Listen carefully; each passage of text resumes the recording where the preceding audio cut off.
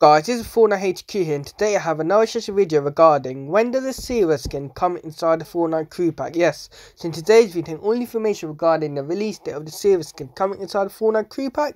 So before I get all that information, please subscribe to the channel if you are new.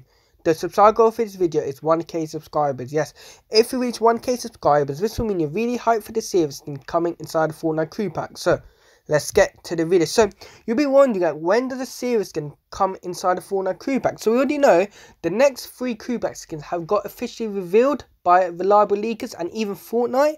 So we're not one of the skins that will be coming part of the crew. It's called the Chaos Agent, which will be coming out in October. So we're wondering when does the Sierra skin come out. So the Sierra skin will be coming out in November. Yes, it's been confirmed by Fortnite and other reliable leakers that the Sierra skin will be coming out in November, which is in another 100 days time.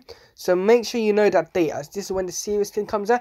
And also, if you're um, subscribed to the Fortnite crew pack in the month of September, October, and November, each of the next three crew pack skins, you'll be able to get extra edit style if you're part of the crew pack for the next three months of September, October, November.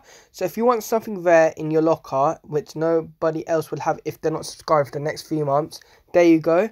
But um, yes, yeah, so guys, tell me in the comment section like which skin are you most hyped for? For the Sierra skin, the Chaos Agent skin, or even I believe the Wolf skin is called. I'm not sure what it's called.